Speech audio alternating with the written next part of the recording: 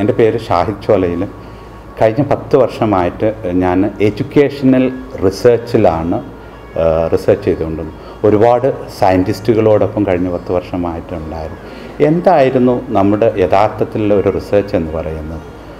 One size fits for all എന്ന എഡ്യൂക്കേഷന് എങ്ങനെ ഇല്ലായ്മ ചെയ്യാം എന്നതായിരുന്നു. നമുക്കറിയാം ninety percentage of the people life is not align with their true potential. അപ്പോൾ ഇതിനെ എങ്ങനെ ഇല്ലായ്മ ചെയ്യാം എന്നായിരുന്നു നമ്മളത്. അപ്പോൾ നമ്മൾ കണ്ടെത്തിയ ഒരു സൊല്യൂഷൻ എന്താണ്? What kind of education really we need എന്ന് പറഞ്ഞു കഴിഞ്ഞാൽ നമ്മൾ വരുന്നത് നയന്റീൻ സെഞ്ച്വറി കരിക്കുലവും ട്വന്റി സെഞ്ച്വറി ടീച്ചേഴ്സും ട്വന്റി ഫസ്റ്റ് സെഞ്ച്വറി കിഡ്സാണ് ഇറ്റ്സ് നെവർ അലൈൻ അപ്പോൾ നമുക്ക് വേണ്ട ഒരു എഡ്യൂക്കേഷൻ എന്ന് പറയുന്നത് നമ്മളുടെ ഫേസിലേക്കെല്ലാം നോക്കിയാൽ നമുക്കറിയാം നമ്മളെല്ലാവരും വളരെ യുണീക്കായിട്ടുള്ള ആളുകളാണ്. നമ്മൾ ഒന്നും തന്നെ ഒന്നല്ല. അപ്പം നമ്മുടെ എക്സാമിനേഷൻ സിസ്റ്റത്തിലാണ് നമുക്ക് പ്രോബ്ലം കണ്ടന്റ് നമുക്ക് ഓക്കെയാണ് നമ്മളെല്ലാം ഒരേ മെഷർമെന്റിൽ കാണുന്നു എന്നുള്ളതാണ് നമ്മുടെ പ്രോബ്ലം എന്ന് പറയുന്നത്. അപ്പം നമുക്ക് വേണ്ട ഒരു എഡ്യൂക്കേഷൻ രീതി ഒരു പാരഡൈം ഷിഫ്റ്റ് വേണ്ടത് ഇൻഡിവിജ്വലൈസ്ഡ് ഡൈനാമിക് കരിക്കുലം നമുക്ക് വേണം. ഇപ്പം ഇൻഡിവിജ്വലൈസ്ഡ് ഡയലാമിക്സ് ഇപ്പം നമ്മൾക്കറിയാം നമ്മൾ പഠിക്കുന്നതിനനുസരിച്ച് നമ്മളുടെ ബ്രെയിന് അതിനനുസരിച്ച് മാറുന്നുണ്ട്. അപ്പം നമ്മുടെ കരിക്കുലം ഡൈനാമിക് ആയിരിക്കണം. അത് ഓരോരുത്തർക്കും അനുസരിച്ചുള്ള ഒരു കരിക്കുലമായിരിക്കണം അതുപോലെ തന്നെ നമുക്ക് പേഴ്സണലൈസ്ഡ് ഡൈനാമിക് പെഡഗോജി നമ്മളെ മൂഡിനും സാഹചര്യത്തിനും അനുസരിച്ച് നമ്മൾക്ക് അതിന്റെ പെഡഗോജി മാറുന്ന ഒരു എഡ്യൂക്കേഷണൽ സിസ്റ്റമാണ് നമ്മൾ. അപ്പം ഇതുമായിട്ട് ബന്ധപ്പെട്ട് ഞങ്ങൾ കഴിഞ്ഞ പത്ത് വർഷമായിട്ട് റിസർച്ച് നടത്തിക്കൊണ്ടിരിക്കുകയായിരുന്നു. ഇതിനെങ്ങനെയാണ് സോൾവ് ചെയ്യുന്നത്? അപ്പോൾ ലോക ഐ പി എം വാട്സനുമായിട്ട് ജോയിൻ ചെയ്തിട്ടാണ് ഞങ്ങൾ ഇതിന് വർക്ക് ചെയ്തത്. അപ്പോൾ ഒരു സാഹചര്യത്തിൽ നമ്മൾക്ക് മനസ്സിലായി. ഇപ്പോൾ റിസർച്ചിന്റെ ഒരു എൻഡിലെത്തിയപ്പോൾ നമുക്ക് വേറൊരു യാഥാർത്ഥ്യത്തെ നമ്മളെ ഹിറ്റ് ചെയ്തു.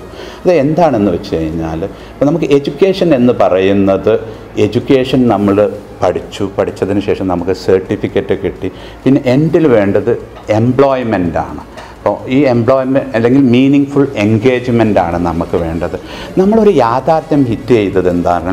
Artificial intelligence is going to surpass the human intelligence അപ്പം എഡ്യൂക്കേഷനെ സോൾവ് ചെയ്യുന്നത് കൊണ്ട് മാത്രം നമ്മുടെ പ്രോബ്ലത്തെ നമ്മൾ അഡ്രസ്സ് ചെയ്യാൻ നമുക്ക് പറ്റില്ല എന്ന് അപ്പം നമ്മൾ ഇന്നത്തെ കാലഘട്ടത്തിൽ നമ്മൾ പറയുന്നത് ഒരു സ്മാർട്ടസ്റ്റ് കിഡ് എന്ന് പറയുന്നത് ഷോർട്ടസ്റ്റ് പീരീഡിൽ ഒരുപാട് കണ്ടന്റിനെ അവൻ പഠിച്ചെടുത്ത് നമ്മൾ ഏത് രീതിയിൽ ചോദിച്ചാലും ഉത്തരം പറയുന്ന ഒരു സ്റ്റുഡന്റിനെയാണ് നമ്മൾ സ്മാർട്ടസ്റ്റ് കിട്ടുക എന്ന് പറയുന്നത്. ഇന്നത്തെ കാലഘട്ടത്തിൽ ആർട്ടിഫിഷ്യൽ ഇന്റലിജൻസിന്റെ മുന്നിൽ നമ്മൾ എന്ത് ചോദിച്ചാലും സെക്കൻഡുകൾ ഏത് ലെവലിലും ഇപ്പം നമ്മളതിന്റെ ഒരു പവർ പറയുന്നത് ഇപ്പം ഹ്യൂമൻ ബ്രെയിനിന്റെ ഓപ്പറേറ്റിംഗ് പറയുന്നത് ടു ഹൺഡ്രഡ് ഹെഡ്സ് ആണ്. കമ്പ്യൂട്ടറിന്റെ ടു ഗിഗാ ഹെഡ്സ് ആണ്. അതുപോലെ തന്നെ human ബ്രെയിനിന്റെ transmitting power information transmit respond power എന്ന് പറയുന്നത് two hundred metre per second ആണ്. അതേ സമയത്ത് കമ്പ്യൂട്ടറിന്റെ ട്രാൻസ്മിറ്റിംഗ് സ്പീഡ് എന്ന് പറയുന്നത് ത്രീ മില്യൺ മീറ്റർ പെർ സെക്കൻഡാണ് അപ്പം ഈ ഒരു കാലഘട്ടത്തിൽ ഏത് കൈൻഡ് ഓഫ് എഡ്യൂക്കേഷൻ ആണ്? ഇപ്പം നമ്മുടെ ഈ ഒരു റോട്ട് ലേണിംഗ് കൊണ്ട് നമുക്ക് ഒന്നും ചെയ്യാൻ അപ്പം അതിനനുസരിച്ചുള്ള ഒരു എഡ്യൂക്കേഷനാണ് നമുക്ക് നീഡെന്ന് മനസ്സിലാവുകയും നമ്മുടെ കംപ്ലീറ്റ്ലി റിസർച്ച് ആർട്ടിഫിഷ്യൽ ഇന്റലിജൻസിനെ കുറിച്ച് പഠിക്കുകയും അതിനനുസരിച്ചുള്ള ഒരു വിദ്യാഭ്യാസ രീതി എങ്ങനെ കൊണ്ടുവരാം? എന്നായി. നമ്മുടെയൊക്കെ ഒരു ഒരു ധാരണ വെച്ച് ആർട്ടിഫിഷ്യൽ ഇന്റലിജൻസ് എന്ന് പറയുന്നത് ഒരു റീസൺ ഫിനോമിനയാണെന്നാണ് കരുതുന്നത്. ആക്ച്വലി അതല്ല. അത് വർഷങ്ങളോളം ഡീക്കേഡുകളോളം അതിന് ഹിസ്റ്ററി ഉണ്ട്. ആയിരത്തി തൊള്ളായിരത്തി അൻപത്തി ആറിലാണ് അക്കാഡമിക് ഡിസിപ്ലിനിൽ അതിന്റെ എ ഐ റിസേർച്ച് ആദ്യത്തെ വർക്ക്ഷോപ്പ് നടക്കുന്നത് ഡാട്ട് മൗത്ത് അവിടെ വെച്ചിട്ടാണ് ആർട്ടിഫിഷ്യൽ ഇന്റലിജൻസ് എന്ന അതിനെ ഇപ്പോൾ ഡോക്ടർ ജോൺ മക്കാത്തിയാണ് അതിനെ ഹെഡ് ചെയ്തത്. പുള്ളിയാണ് ആർട്ടിഫിഷ്യൽ ഇന്റലിജൻസ് എന്ന വേർഡിങ് കോയിൻ ചെയ്യുന്നത്. അപ്പോൾ അതിൽ പങ്കെടുത്ത പ്രധാനപ്പെട്ട സയന്റിസ്റ്റുകൾ ഡോക്ടർ അലൻ ന്യൂവൽ അതുപോലെ തന്നെ ഡോക്ടർ മെർവിൻ മിൻസ്കി പുള്ളി എം ഐ ടിന്റെ കോ ഇൻ ആർട്ടിഫിഷ്യൽ ഇന്റലിജൻസിന്റെ ലാബിന്റെ കോ ഇന്നോവേറ്റ് കോ ഫൗണ്ടറാണ് അതുപോലെ തന്നെ ജോൺ മക്കാത്തിയും എം ഐ ടി ആർട്ടിഫിഷ്യൽ ഇന്റലിജൻസിന്റെ കോ ഫൗണ്ടറാണ് ഈ ഡോക്ടർ ജോൺ മക്കാത്തിയെയാണ് നമ്മൾ ഫാദർ ഓഫ് ആർട്ടിഫിഷ്യൽ ഇന്റലിജൻസ് എന്ന് വിളിക്കുന്നത്. പുള്ളിയാണ് നമ്മുടെ സ്റ്റാൻഫോർഡിന്റെ ആർട്ടിഫിഷ്യൽ ഇന്റലിജൻസിന്റെ ഫൗണ്ടർ കൂടിയാണ്. പുള്ളിയുടെ ഒരു പ്രധാനപ്പെട്ട ഒരു പ്രോഗ്രാമിംഗ് ലാംഗ്വേജാണ് ലിസ്പ് എന്ന് പറയുന്നത്. ലിസ്പാണ് ഇന്ന് വരെ ഉള്ള ആർട്ടിഫിഷ്യൽ ഇന്റലിജന്റ് പ്രോഗ്രാമിന്റെ ഫ്രെയിമായിട്ട് നമ്മൾ ഇൻക്ലൂഡിങ് നമ്മൾ അത് വെബ് അപ്ലിക്കേഷനിലും അതുപോലെ തന്നെ ഇപ്പോൾ നമ്മൾ ഉപയോഗിക്കുന്ന ആപ്പിൾ ഫോണിലെ സീരീസിന്റെ പേഴ്സണലിൽ പോലും നമ്മൾ ഉപയോഗിക്കുന്നതിന് അപ്പോൾ പുള്ളിയാണ് പ്രധാനപ്പെട്ട കോൺട്രിബ്യൂഷൻ ഇതിൽ അതുപോലെ തന്നെ അലൻ ടൂറി ഈ ഒരു അലൻ ടൂറിനെയും നമ്മൾ ആർട്ടിഫിഷ്യൽ ഇന്റലിജൻസ് പറയുമ്പോൾ അലൻ ടൂറിനെ കുറിച്ചും എപ്പോഴും പറയാറുണ്ട്. അലൻ ടൂറിയാണ് ഫാദർ ഓഫ് കമ്പ്യൂട്ടർ സയൻസ് എന്ന് പുള്ളി ഒരു കോഗ്നറ്റീവ് സയന്റിസ്റ്റ് ആയിരുന്നു. പുള്ളി ഒരു ലോജിസ്റ്റിഷ്യൻ ആയിരുന്നു. പുള്ളി തിയറട്ടിക്കൽ ബയോളജിസ്റ്റ് ആയിരുന്നു. അലൻ ടൂറിന്റെ ഹിസ്റ്ററിയിലേക്ക് പോകുമ്പോഴും ഇന്നത്തെ ഒരു മോഡേൺ കമ്പ്യൂട്ടർ ഉണ്ടായത് അലൻ ടൂറിൽ നിന്നാണ് മോഡേൺ കമ്പ്യൂട്ടർ ഒരു ജനറൽ പർപ്പസ് കമ്പ്യൂട്ടർ വരുന്നത്. ഇപ്പം അലൻ ടൂറിയുടെ ടൂറിംഗ് മിഷൻ ആണ് യഥാർത്ഥത്തിൽ ഇന്നത്തെ കമ്പ്യൂട്ടറിന്റെ ഒരു കോർണർ സ്റ്റോണായിട്ട് എല്ലാവരും ഉപയോഗിക്കുന്നത് അലൻ ടൂറിനെ ലോകം ആദരിക്കുന്നത് ഒന്ന് രണ്ട് വേറെയൊരു അലൻ ടൂറിനെ കുറിച്ച് നമ്മൾ പറയാറുള്ള ഒരു കാര്യമാണ്. അലൻ ടൂറിയാണ് സെക്കൻഡ് വേൾഡ് വാറ് ഏർലി സ്റ്റേജിൽ നിർത്താൻ. അന്നത്തെ നാസിയുടെ ഒരു കോഡുണ്ട് എൻ സിഗ്മ സൈഫർ എന്ന് പറയുന്ന. ഈ കോഡിനെ ഡീകോഡ് ചെയ്തിരുന്നത് അലൻ ടൂറിയാണ്.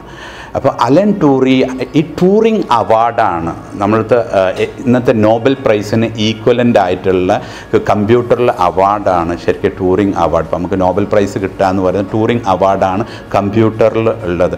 അപ്പോൾ ആർട്ടിഫിഷ്യൽ ഇന്റലിജൻസ് ആണ് ഇനി അങ്ങോട്ട്. നമുക്കറിയാം technology is the key driver of change അപ്പം നമ്മൾ കാണാൻ പോകുന്ന ഇനി അങ്ങോട്ടുള്ള ഒരു ചേഞ്ച് രണ്ടായിരത്തി ഇരുപത് മുതൽ രണ്ടായിരത്തി മുപ്പത് വരെ അയ്യായിരം വർഷത്തെ പ്രൊഡക്ടിവിറ്റിയെ നമ്മൾ ഫേസ് ചെയ്യാണ് it's huge exciting as well as scary to ഇപ്പോൾ ഒരു സൈഡിൽ നമ്മൾ കാണുന്ന ഒരു അപ്പം നമ്മൾ ഇതിനെ പറയുന്നത് നമ്മുടെ മനുഷ്യനെല്ലാം ലീനിയർ ഫാഷനിലാണ് ഒരു എക്സ്പൊണൻഷ്യൽ ലെവലിലുള്ള ഒരു ഗ്രോത്താണ് ഇനി പറയുന്നത്.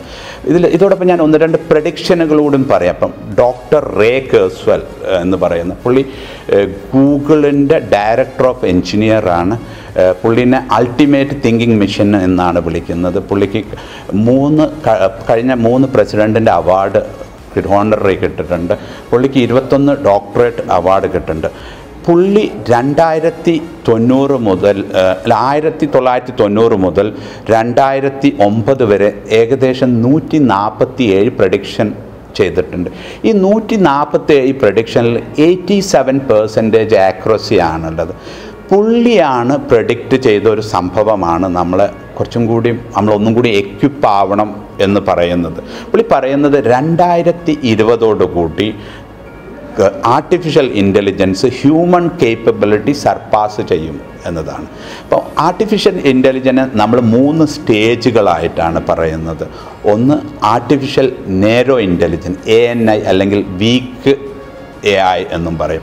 നമ്മൾ ഹ്യൂമൻ ബ്രെയിനിന്റെ മാതിരി തന്നെ ഇപ്പം നമുക്ക് ഹ്യൂമൻ ബ്രെയിനിന് കമ്പാർട്ട്മെന്റൽ ഫംഗ്ഷനുണ്ട് ഓർക്കസ്ട്രേഷണൽ ഫംഗ്ഷനുണ്ട് അപ്പം ആർട്ടിഫിഷ്യൽ ഇന്റലിജൻസ് സിമിലർ ഇപ്പം ചെയ്യുന്നതെല്ലാം റോബോട്ട് ഒരു പ്രോബ്ലത്തെ അഡ്രസ്സ് ചെയ്യുക. ഇതിനെയാണ് നമ്മൾ ആർട്ടിഫിഷ്യൽ നേരോ ഇന്റലിജൻസ് എന്ന് പറയുന്നത്. ഇതിന്റെ ഒരു അടുത്ത സ്റ്റേജിനെ നമ്മൾ വിളിക്കുന്നത് ആർട്ടിഫിഷ്യൽ ജനറൽ ഇന്റലിജൻസ് എന്നാണ്. ഹ്യൂമൻ ലെവൽ ഇന്റലിജൻസിനെ അച്ചീവ് ചെയ്യുക. അപ്പോൾ പ്രഡിക്ഷൻ അനുസരിച്ച് രണ്ടായിരത്തി ഇരുപത്തഞ്ചിന്റെ ഇരുപത്തൊമ്പതിന്റെ ഇടയ്ക്ക് എ ഐ സർപ്പാസ് ചെയ്യും. ഈ ഒരു അവസ്ഥ എന്ന് പറയുന്നത് ഒരു ഒരു ഇത്തിരി എന്താ പറയുക സ്കെയറിയാണ് കാരണം അതിന് അതിനെ തന്നെ റീപ്രോഗ്രാം ചെയ്ത് എഞ്ചിനീയർ ഇപ്പം നമ്മളാണ് ചീഫ് ഇന്റലക്ച്വൽ ബീയിങ്സ് ഇപ്പോൾ ഇനി അങ്ങോട്ടുള്ള ഒരു കാലം വരാൻ പോകുന്നത് എന്താ പറഞ്ഞാൽ biological versus non biological intelligence ആണ് വരാൻ പോകുമ്പോൾ അപ്പോൾ നമുക്കറിയാം human versus technology human species versus technology species എന്നുള്ള ഒരു സ്റ്റേജിലേക്കാണ് വരുന്നത്. ഇപ്പോൾ ഇന്റലിജൻസിന്റെ ഏറ്റവും ഇതിപ്പോൾ നമ്മൾ ഗെയിമിലൂടെയാണ് ഇന്റലി ഹ്യൂമൻ ഇന്റലിജൻസിനെ കുറിച്ച് പറയുക അതിൽ ഏറ്റവും കോംപ്ലക്സ് ആയിട്ടുള്ള ഒരു ഗെയിം എന്ന് പറയുന്നത് ചൈനീസിൽ ഗോ എന്നുള്ള ഒരു ഗെയിമുണ്ട് രണ്ടായിരത്തി അഞ്ഞൂറോളം വർഷം പഴക്കമുള്ള ഒരു ഗെയിമാണ് ഗൂഗിളിന്റെ ഡീപ്പ് മൈൻഡ് എന്ന ഒരു സോഫ്റ്റ്വെയർ വെറും നാൽപ്പത് ദിവസം കൊണ്ട് ലീ എന്ന ചാമ്പ്യനെ ഡിഫീറ്റ് ചെയ്തു. ആ ദിവസത്തെ ഹ്യൂമൻ ഇന്റലിജൻസിന്റെ ക്രൈസിസ് ഡേ ആയിട്ടാണ് നമ്മൾ. ഇപ്പം ആൽഫ ഗോ എന്ന് പറയുന്ന ഇത് ഓരോ ലെവൽ ഹ്യൂമണിന് മനസ്സിലാക്കാവുന്നതിന്റെ അപ്പുറത്താണ് അത് പ്രവർത്തിക്കുന്നത്.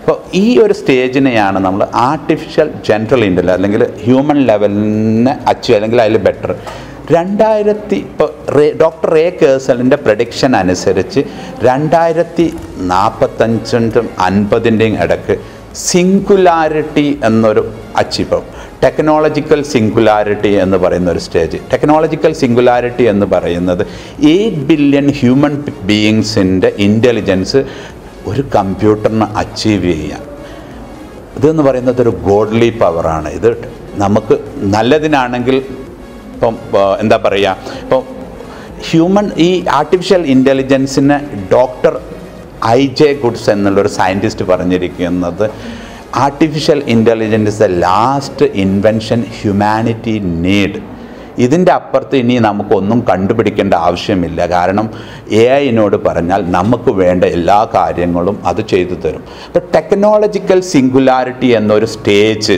നമുക്ക് വരാനുണ്ട്. ഇത് ഓൾമോസ്റ്റ് എല്ലാവരും അംഗീകരിക്കുന്ന ഒരു കാര്യമാണ്. ഇപ്പം ഒരു എക്സാമ്പിൾ സ്റ്റീവൻ ഓക്കിൻസ് സ്റ്റീവൻ ഓക്കിൻസിന്റെ ലാസ്റ്റ് പ്രഡിക്ഷൻ അനുസരിച്ച് പുള്ളി പറഞ്ഞിരിക്കുന്ന artificial intelligence is the end of human race എന്ന് പറഞ്ഞാണ് പുള്ളി മരിക്കുന്നത്. ഇപ്പം നമുക്കറിയാം എലോൺ മോസ്ക് പറയുന്നത് artificial intelligence is the fundamental risk of human പക്ഷേ നമ്മളെല്ലാം വളരെ ഒപ്റ്റിമിസ്റ്റാണ് ഈ ആർട്ടിഫിഷ്യൽ ഇന്റലിജൻസ് നമുക്ക് മനുഷ്യന് സഹായകമായ രീതിയിൽ തന്നെയായിരിക്കും വരുന്നത്. കാരണം നമ്മൾ പല കാലഘട്ടങ്ങളിലായിട്ട് നമുക്ക് എംപ്ലോയ്മെന്റ് എല്ലാം പോയിട്ടുണ്ട്. അപ്പോൾ അഗ്രികൾച്ചറിന്റെ ഒരു കാലഘട്ടം ഇന്ന് എത്ര ആളാണ്. ഇപ്പോൾ നയന്റീൻ ഹൺഡ്രഡിലുള്ള ജോബൊന്നും ഇന്നില്ല. പക്ഷേ നമുക്കൊരു ട്രാൻസിഷൻ പീരീഡ് ഇവിടെ ഉണ്ട്. അപ്പോൾ ഈ ടെക്നോളജിക്കൽ സിംഗുലാരിറ്റി എന്നൊരു അവസ്ഥ വരും വന്നു കഴിഞ്ഞാൽ നമ്മൾ എങ്ങനെ അഡ്രസ്സ് ചെയ്യണം? അതിനനുസരിച്ച് നമ്മൾ നമ്മുടെ എഡ്യൂക്കേഷണൽ സിസ്റ്റത്തെ നമ്മൾ ഏത് തരത്തിലാണ് മാറ്റേണ്ടത്?